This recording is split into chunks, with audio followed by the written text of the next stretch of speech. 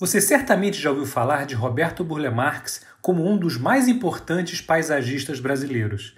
Mas talvez você não tenha dimensão de que ele não apenas revolucionou o cenário do paisagismo no Brasil. Ele também foi um proeminente artista plástico, designer e arquiteto. O fato é que Burle Marx era um artista completo que ao longo da vida usou diversos meios, fossem plantas, tintas, pedras portuguesas ou azulejos, para levar beleza e brasilidade aos ambientes com as suas criações. Grande parte de sua vida foi vivida no Rio de Janeiro, onde deixou um legado de projetos notáveis, como o desenho do calçadão central da praia de Copacabana e o Parque do Flamengo. Além disso, Burle Marx foi um pioneiro na luta pela preservação das florestas brasileiras.